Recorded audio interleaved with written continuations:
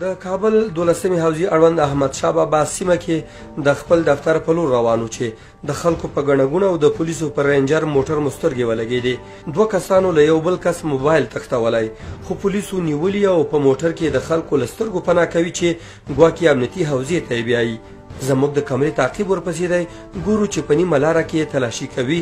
او خوشې کوي یې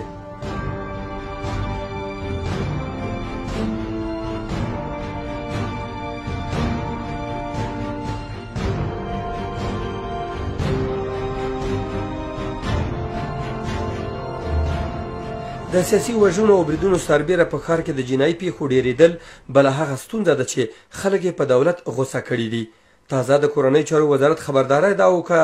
د کومې امنیتي حوزې په اړوند سیمه کې کومه پیښه کیږي، چارواکي به یې له جدي چلند سره مخ شي، خو بیا هم کوم مثبت بدلون نه تر سترګو کیږي. کورنیو چارو وزارت او امنیت شورا د امنیتي او جنایي پیښو ډیریدو په تړاو تر ډیره د رسنیو پوښتنې نه ځوابوي.